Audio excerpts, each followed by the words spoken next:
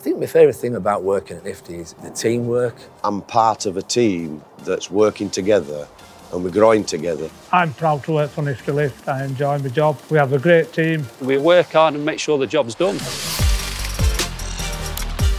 We're here at Nifty Lift Hoyland. This is the factory where we make all the superstructures, all the chassis, all the arms and booms that will be used to make a finished machine. On a daily basis, we'll receive a number of deliveries. Here at Niftylift, we demand the top quality steel. It needs to be because we make a quality product, but you can't make a quality product out of tin foil. There are a significant number of parts that can go into any one chassis. We need to keep production going, so we need to make sure that the parts are there at the right time. We check everything when it comes in. All our parts have their part number laser etched, so we know that what we're expecting is what we're getting. It means the customer is getting the same product. Every chassis is exactly the same. The fabrication part is where the chassis components are put together. So the initial stage is the tacking process. The components are tacked into place, which then allows us to be able to finish weld.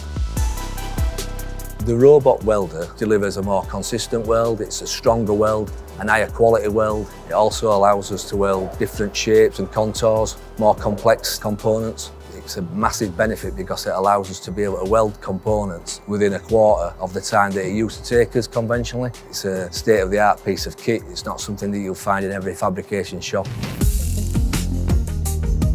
The machining part of the process is where all the drilling and boring takes place. These again, uh, state-of-the-art pieces of kit. What's really important is obviously it's pinpoint accuracy. We are machining parts to two microns so that when it goes to assembly, everything assembles together correctly. The finished components are then stored on site. This is a shot blast area. Shot blast is really important. It gives us the finish that we need. It gets rid of any surface rust. Once that kit's shot blasted, it's then inspected and then it's sent forward to the paint line. I basically pull the product into my gloss booth, put what you call a tack coat on first, put my second coat on, and then inspect my work when I've done it, and then put it in the oven. I've got to try to make that machine look as good as I possibly can. As you know, our main colour is Nifty Green, but we have over 100 different colours. Whatever the customer requires, we can supply. Here at Hoyland, we'll build it from base to superstructure, our assemble guys are all experienced, take pride in the work. We all strive for that first class finish, which is what the customer requires.